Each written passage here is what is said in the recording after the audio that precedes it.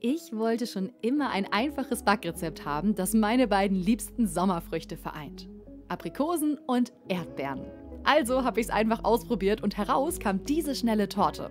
Der Teig aus nur vier Zutaten wird ohne Mehl super saftig und die luftige Creme gelingt aus Sahne und Quark.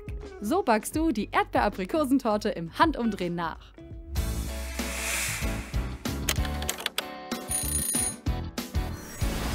Fette als erstes die Springform mit etwas weicher Butter oder geschmacksneutralem Pflanzenöl ein.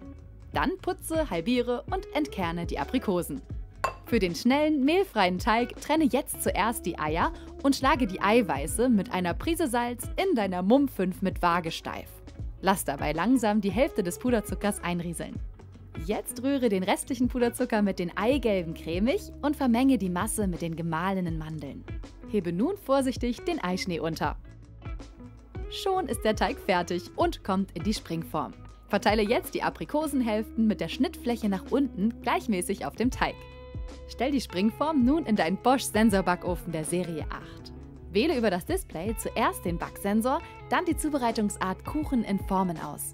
Den Rest erledigt der Perfect Bake Backsensor Plus für dich. Bedeutet, dass du dich weder um das Einstellen von Heizart, Zeit oder Temperatur kümmern musst. Dein Backofen sagt dir, wenn dein Kuchen perfekt gebacken ist und schaltet sich automatisch ab. Auch die Stäbchenprobe kannst du dir sparen. Jetzt zur cremigen Füllung. In deiner Mumm 5 mit Waage dafür zunächst die Sahne mit Sahnesteif und Vanillezucker steif schlagen. Dann vorsichtig den Quark unterheben. Nun die Erdbeeren putzen und vierteln. Du kannst sie aber auch in feine Streifen schneiden für eine etwas filigranere Optik.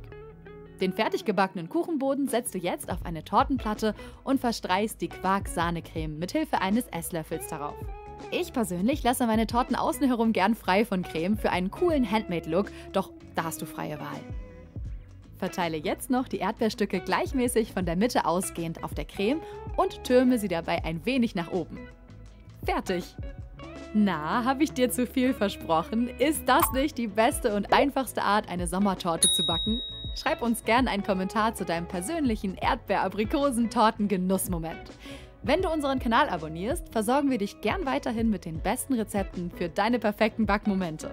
Aktiviere auch die Glocke und verpasse kein Simply Yummy Rezept mehr.